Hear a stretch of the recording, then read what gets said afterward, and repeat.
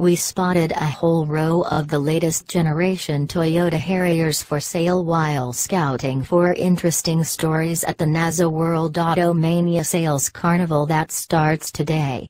Since previous stories about the new Harrier have proven to be popular on this site we decided to snap a quick gallery of it.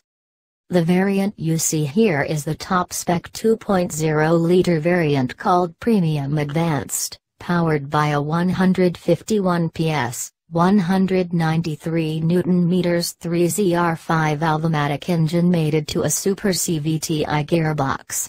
It has the works including a JBL Green Edge sound system, power boot, surround view monitor and a panoramic sunroof. Also available is a Harrier Hybrid powered by a 2.5-liter hybrid system. It's not the same system as the Camry Hybrid as in the Harrier there's an additional 68 PS, 139 Newton meters electric motor on the rear axle to provide 4WD capability. However we did not see any Harrier hybrids on the showroom floor. We were told pricing for the Toyota Harrier ranges between RM205K to RM260K for 2014 models.